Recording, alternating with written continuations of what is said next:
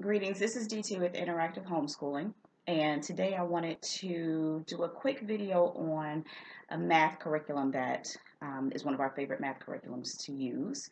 Um, give a little insight in, into why we've chosen this particular math curriculum and also to um, tell about our sixth grade math program for this year.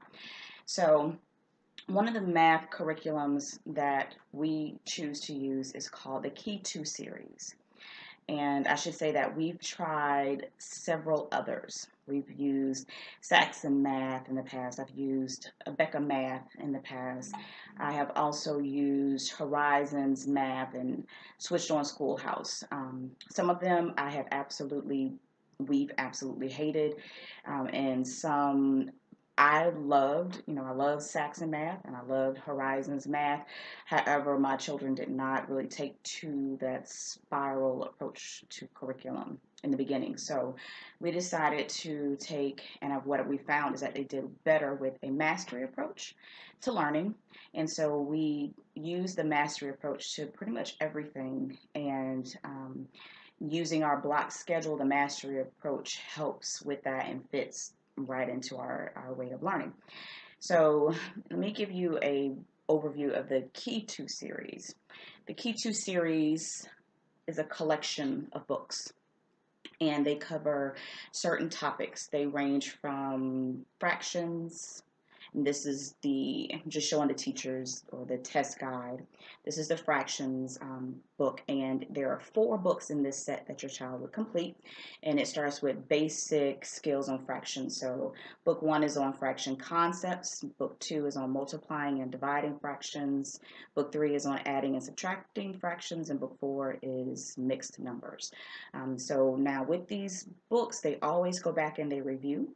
They start with the most very basic of concepts dealing with fractions, um, and then they build up to the most complex with those. Um, after that, and you can do these in any order that you choose, um, but after fractions, you have the decimals set. This one also has four books. Book one is with decimal concepts. Book two is adding, subtracting, and multiplying decimals. Book three is dividing decimals. And book four is using decimals. They all come with a test book as well, so in a diagnostic test. So you and I've done this with my children, giving them the diagnostic test in the beginning, and if they test out of a book, you know, book one, then you give them the diagnostic test for book two. If they test out of that, then you give them the book three diagnostic test. So wherever your child fits, you can start with that book um, on the diagnostic test. But if not, you can just start at the beginning and let, um, that I did that with a few my younger ones and let them kind of run through them and they enjoyed it, so it's not a problem.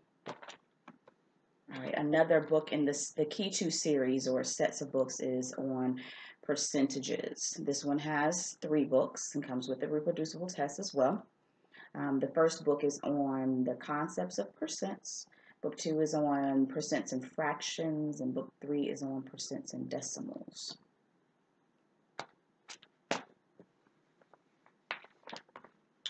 Then we have, I actually want this one. Okay, you have key to measurements, and there are two different sets. You have the key to measurements for English measures. Um, book one is on English units of length. Book two is on measuring length and perimeter using English units. Book three is on finding area and volume. Book, four is on weight, capacity, temperature, and time. This is the metric measurement set. Um, book one is on metric units of length. Book two is metric units of length and perimeter. Book three is on metric units of volume, and book four is on metric units of mass, capacity, temperature, and time. You then move into the, you have the algebra, Key to Algebra. This one has 10 books, and it's actually pretty good as a, a um, pre-algebra set. Um, so this one, the book one is going to deal with operations and integers. Book two is on variables, terms, and expressions. Book three is on equations. Book four, polynomials. Book 5, Rational Numbers. Book 6 is Multiplying and Dividing Rational Numbers. Book 7 is on Adding and Subtracting Rational Numbers. Book 8 is on Graphs. Book 9 is on Systems, equa systems of Equations. And Book 10 is on Square Roots and Quadratic Equations. And then the last set in the Key to series is the Geometry set. This one has eight booklets that your child would complete. Book one is on lines and segments. Book two is on circles. Book three is on constructions. Book four is on perpendiculars. Book five is squares and rectangles. Book six, angles. Book seven is perpendiculars, parallels, chords, tangents, and circles. And book eight is on triangles, parallel lines, and similar polygons. Okay. Now, I wanted to go over those. We choose to use that one again because it is mastery based, meaning that instead of my children jumping from touching on from one year to the next, your child would learn if you're doing measurements like we're doing this year. So they may learn how to use non-standard units one year. So they would use their hands and feet or pieces of tape or paper clips and pencils to measure different objects. The next year, they may go into using rulers or um, and learning how to measure things to the nearest inch. Um, and then the following year, they may learn to measure things to the nearest inch and half inch and quarter inch or an eighth inch and, and so forth. Um, so instead of building year by year on a topic, the mastery approach allows my children to really stay on a topic until they truly understand it. And so we do not move on from that topic until they have mastered that concept. Um, some of them are going to master those concepts and move on faster than others. And using this approach lets me see that. I can truly say what they what they know as far as um, math or any of the other units that we've covered because we use that approach, and I can tell you what they don't know.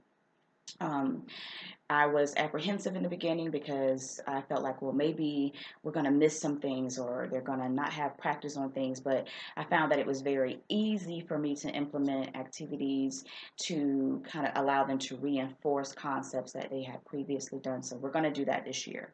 Um, so a little bit about how we're setting up this year. Um, the girls are going to, I have two, one that is actually a sixth grader and one that is a fifth grader. However, all of her work, she's always um, been a great level ahead and could probably be a little bit further, but we're going to um, let her see what she does this year.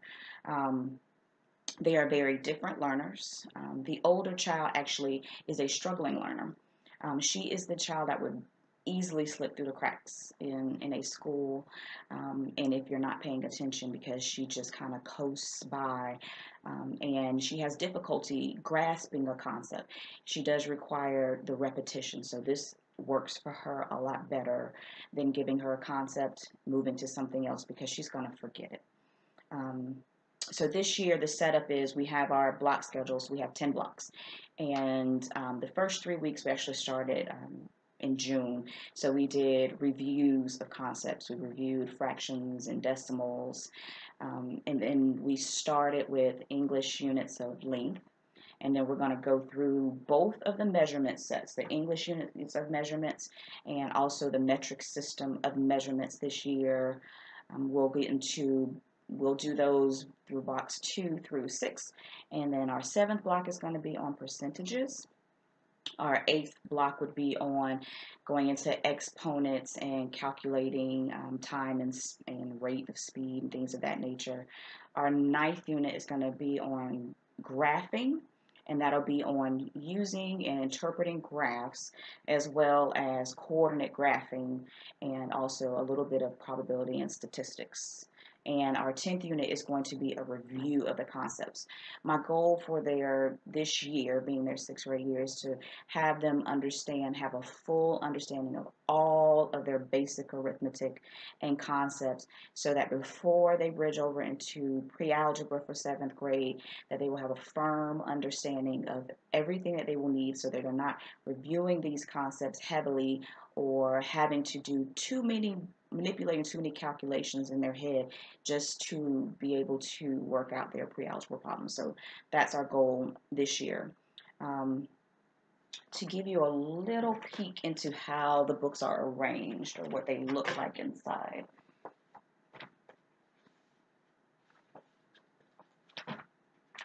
This is the book one, is what the books look like.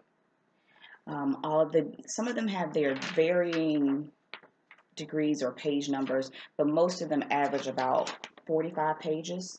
Some of them are about 36 pages per book.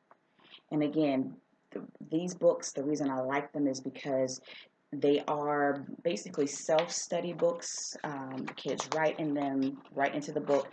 They are teaching books from the beginning, the concepts, um, and the kids can move as quickly as possible or as slowly as they need to as well. So it's going to start at the most basic. So in the book, in the beginning of the book, they're doing the same thing. They're using non-standard units of measurement um, for the metric system, and they do the same thing for the English system. And then it's going to move into the more the terminology and the, the units that they use in the metric system, starting in book one. It's black and white, so it's not too busy.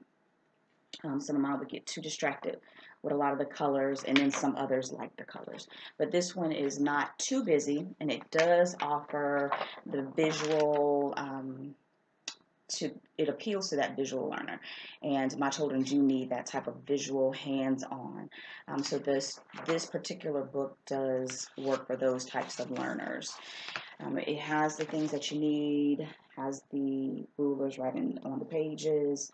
The pages are not too lengthy or heavy. So again, it makes it easier to get through the class day. And my children actually ask for math and they actually ask for the Key to math set. They, they love these.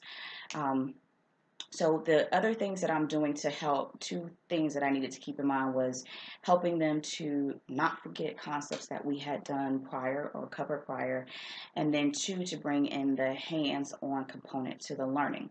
Um, the hands-on component first is very easy because um, with the unit approach, you can just grab all the materials and I'm pre-assembling our math units the same way I'm doing our science units.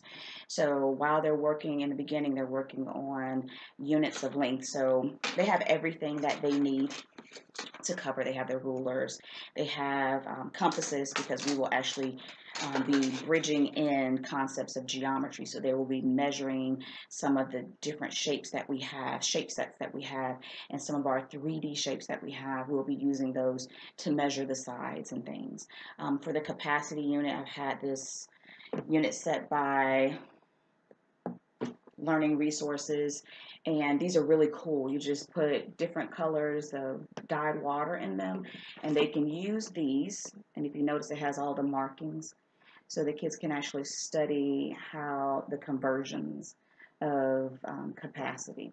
So we've had this set for a long time, and it's it, we used it before. They've used it before, so this will be a good review for them. And again, it just gives them the hands-on piece to learning to convert those units of measurement. Um, other things that we'll be using, they'll have a digital scale, a scale that converts the units from them so they can use this for English measurements of weight and also they can use it for the um, metric system units of, of weight. So they'll have that available to them. Um, things that I typically keep, we have our shelves and my kids are really good about Montessori type learning. So these are little sets that I have already pre-printed, laminated. I found these little containers at Family Dollar and I've separated them into sets. So this is where one of the sets for perimeter and this is for perimeter of a regular polygon. And what I like about these is that this is a self-study type work that they can do. They can add to their notebooks if they want or just practice on paper in the evenings. So it gives them different shapes. You can see it. And it has different measurements and they are to calculate the perimeter. Little basic, easy things they'll do. This be a review for them. Um, and then it has the answer key so that they can just quickly check themselves. They don't need me to do this with them. Um, I will check it, you know, check behind them, but they can check themselves um, for their understanding of the concept. And they can do this independently in the evenings as a review. Um, and they or they could do it um, as a be used as like a station activity where you have math stations and things of that nature. I keep these. I'm going to have this in one box for all of our measurement activities, and they'll be able to go to these. I have different sets. So this is on measuring circumference. This one, um, there's some on time, measuring elapsed time. We have a little weigh station on balancing um, weights and this one's a nice one. It comes with, it's called Weigh and Play. We've had this one for a while as well. And it's very basic. It has little cards for them to go through, um, balancing out weights, and it tells them how much each one of the shapes weighs um, and the weights that are inside. So they'll be using this as well. It's just a little fun station. Um, they will, we have one other that's something that I've used, and this will help them to also remember or recall some of the things they've learned in geometry. And this is the Power Solids set. So we'll be using this for measuring um, the size of the um, three-dimensional shapes, and also they'll be using this for capacity, volume of of the three-dimensional shapes. So even though it's a measurement, they'll be using it to do measurements. It will also help them to recall the names of the different shapes and some of the formulas for the shapes. They'll be learning those.